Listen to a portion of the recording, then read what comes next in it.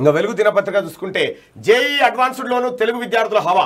Top టెన్లో ఐదుగురు Telangana AP వాళ్ళే. ఫలితాలు విడుదల నలభై వేల ఏడు వందల పన్నెండు మంది క్వాలిఫై టాపర్గా ఆర్కే శిశిర్ నేటి నుంచి కౌన్సిలింగ్ నిర్వహణ.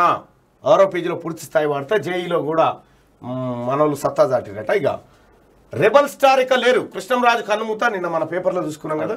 యాభై ఏళ్ళ సినీ ప్రస్థానం కేంద్ర మంత్రిగా సేవలు ఇవాళ ప్రభుత్వ లాంఛనాలతో అంత్యక్రియలు ప్రధాని సీఎం సహా పలువురి సంతాపం. తెలుగు వెండి తెరపై తనదైన ముద్ర వేసుకున్న రెబల్ స్టార్ కృష్ణంరాజు ఇక లేరు. కొంతకాలంగా అనారోగ్యంతో బాధపడుతున్న ఆయన హైదరాబాద్ గచ్చిబౌలిలోని ఏఐజీ ఆసుపత్రిలో ట్రీట్మెంట్ పొందుతూ ఆదివారం ఉదయం కన్నుమూశారు. పోస్ట్ కోవిడ్ డయాబెటిక్ సమస్యలతో పాటు కార్డియాక్ అరెస్ట్ కారణంగా కృష్ణంరాజ్ చనిపోయారని డాక్టర్లు ప్రకటించారు. పంతొమ్మిది వందల నలభై జనవరి ఇరవైన పశ్చిమ గోదావరి జిల్లా ముగల్తూరులో కృష్ణంరాజు జన్మించారు. ఆయనకు భార్య ముగ్గురు బిడ్డలున్నారు.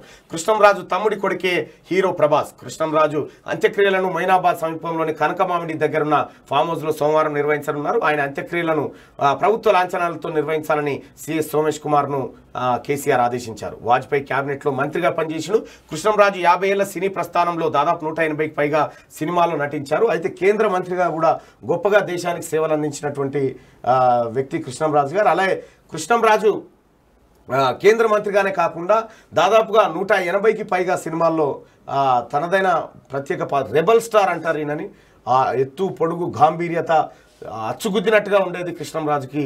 నిజంగా ఆయన దూరం అవ్వడం సినీ పరిశ్రమకు అలాగే అభిమానులందరికీ తీరని లోటు.